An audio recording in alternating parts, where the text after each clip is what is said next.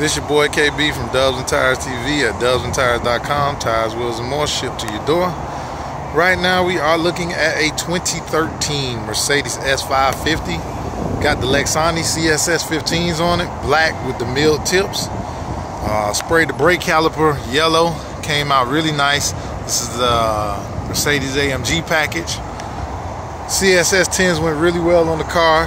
I didn't know how it was going to come out. I thought it might be a little too flashy. It is flashy, but it still came out classy and flashy at the same time.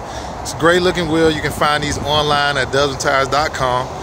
That is a 22 by 9 in the front with a 22 by 10 in the back.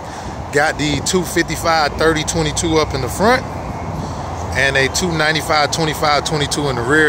You can see the concave this does not poke or stick out or anything crazy. You can go up to 10 and a half on these cars with no issues, no problems, no rubbing or anything like that.